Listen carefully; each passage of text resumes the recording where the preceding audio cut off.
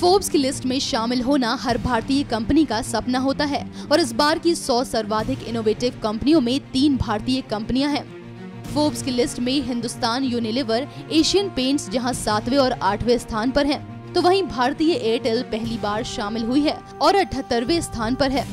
इस बार फोर्ब्स की इस लिस्ट में सेल्स ने टेस्ला मोटर्स को पीछे छोड़ते हुए पहला स्थान हासिल किया है। आपको ये भी बता दें कि भारतीय कंपनियों की ये छलांग काफ़ी बड़ी है, जहाँ हिंदुस्तान यूनिलीवर और एशियन पेंट्स पिछले साल इकतीसवे और अठारवे स्थान पर थे। पिछले साल की ऐसी सूची में टाटा कंसल्टेंसी सर्विसेज़, टीसीएस, सन फार्मा तथा लॉर्सन एंड ट्यूबो भी शामिल थी। लेकिन इस साल वे सूची में स्थान बना पाने में विफल रही। इसके कारण फोर्ब्स की सूची में भारतीय कंपनियों की संख्या घटकर पाँच से तीन रह गई है। दुनिया की सर्वाधिक इनोवेटिव कंपनियाँ, उन्हें माना जाता है कि जिसके बारे में निवेशकों को उम्मीद होती है कि वे अभी और भविष्य में इनोवेटिव बनी रहेंगी।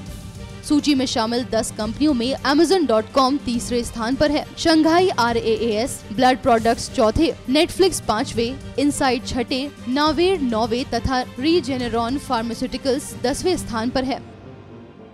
एनएमएफ न्यूज़ की रिपोर्ट।